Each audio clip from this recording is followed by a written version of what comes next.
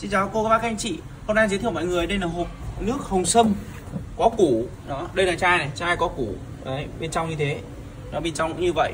Một hộp này gồm có 10 chai. Mỗi chai 120 ml nước hồng sâm có củ là một loại đồ uống cực kỳ bổ bổ dưỡng cho sức khỏe. Đó. Nước hồng sâm này có thành phần là gồm củ sâm tươi Hàn Quốc.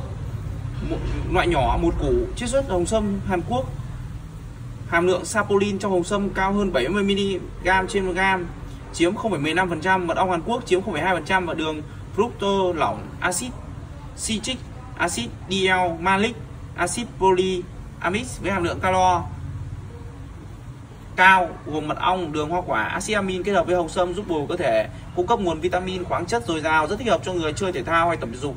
Thể hình hàng ngày hỗ trợ phát triển cơ bắp tăng cường sức đề kháng cho cơ thể hỗ trợ sự trao đổi chất, nâng cao khả năng làm việc, trí óc và chân tay, tăng khả năng phản xạ, cải thiện chức năng gan thận, chống lão hóa làm cho da trở nên tươi sáng và rất nhiều công dụng khác nữa.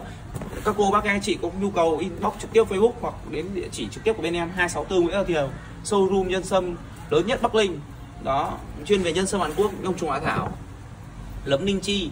Cảm ơn cô, bác rất nhiều. Các cô, bác có nhu cầu gọi cho số online 0961 936 536 để em tư vấn cho các cô, bác, các anh chị. Em xin chân thành cảm ơn. Xin chào.